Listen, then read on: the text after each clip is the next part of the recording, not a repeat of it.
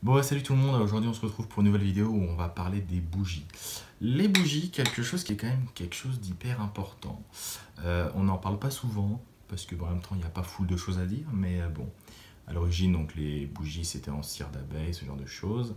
Après on est plus sur d'autres types de cire et autres, donc on a des choses un petit peu plus dans le style des chandelles qui durent quelques heures, à des bougies un petit peu plus mastoc qui comme celle-là durent environ 70 heures. Donc comme vous, comme vous le voyez, elle n'est pas allumée encore.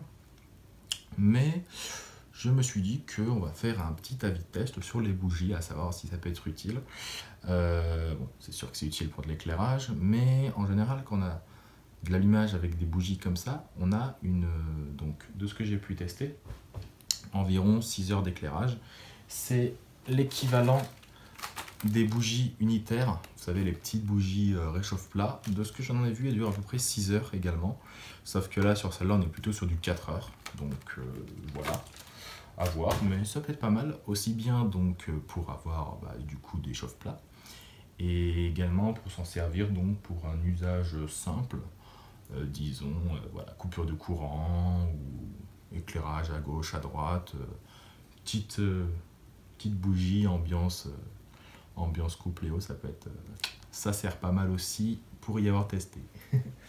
et euh, dans, dans, des cadres un petit peu plus précis, je me suis dit que ça pouvait être pas mal de se dire, ah bon voilà, imaginons qu'il y a une coupure de courant pendant trois jours ou une semaine et que j'ai besoin de m'éclairer euh, aussi bien pour un peu me réchauffer, mais principalement pour être dans le cadre de, voilà, je suis le soir, je mange, je m'éclaire, si je veux, je l'utilise encore un petit peu plus pour euh, faire de la lecture le soir. Donc, partons sur une moyenne de coucher de soleil en hiver à 18h. Je me couche à minuit, 6 heures d'éclairage par jour. Est-ce que les bougies comme ça suffisent?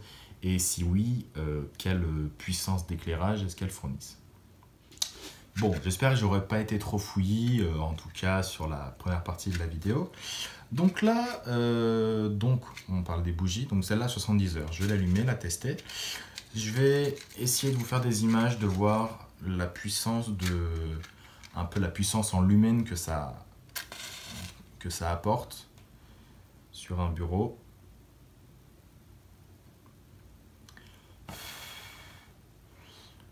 Et puis, euh, et puis voilà, on verra tout ça à la fin de la vidéo.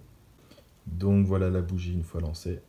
Je me la suis mis dans un petit bol, un petit truc là pour la tenir, comme ça c'est nickel, ça évitera que ça se casse la gueule. Euh, je vais essayer de vous montrer voilà, ce que ça fait comme euh, zone de lumière. Ce qui est plutôt intéressant. Euh, moi, ça éclaire... Alors, c'est un peu compliqué de la tenir. Mais ça éclaire pas mal, vous voyez, par rapport au reste de la pièce. Donc, plutôt intéressant. Et en étant par terre... Voilà. Et voilà, du coup en étant par terre un petit peu l'aube de lumière que ça, fait. vous voyez, ça fait une, zone d'éclairage plutôt intéressante à ce niveau-là. Ça éclaire bien, bon, dans toute la pièce, hein, ça fait des ondes projetées évidemment. Mais euh, on est sur quelque chose de pas mal. Donc j'ai lancé le chronomètre. Et puis bah, je vous dirai si, euh, si ça a bien tenu ses promesses quitte à avoir une ambiance sympa, je vous conseille de rajouter du papier d'Arménie à brûler juste à côté. Ça fait vraiment un petit panache et une petite odeur très agréable. Et à côté de la bougie, ça fait vraiment quelque chose de très sympa. On se retrouve sur la fin de cette vidéo euh, pour parler de la vie de la bougie 70 heures. Alors euh, du coup, je ne saurais pas exactement vous dire si c'est réellement 70 heures, euh, même si j'ai l'impression qu'on est sur beaucoup plus longtemps. Euh, j'avais commencé à chronométrer un petit peu le temps, le soir et tout. Et j'en étais à peu près à une trentaine d'heures, alors que il en reste encore un bon paquet. J'ai peut-être passé un tiers de la bougie, voire euh, un petit peu moins. Donc euh, ça fait bien. du coup, j'ai peu de possibilités de vous montrer la zone d'éclairage. En plus, on est en journée. Mais franchement, c'est une bonne bougie. bougie de Leclerc, là, 6-7 euros pendant 70 heures d'éclairage, même si c'est un peu plus. Alors, il y a largement assez pour lire. Euh, moi, je le cale sur la table de nuit, histoire de voir un petit peu en mode, euh, ambiance fin du monde, fin d'un monde. et, et, non, et franchement, ça le fait bien. Bon, je me suis fait un petit peu, je me suis un petit peu marré à, à, fesser les bords là pour voir. non, franchement, franchement bien. Donc j'ai eu le temps de lire tout le livre Comment tout peut s'effondrer de Pablo Servigne.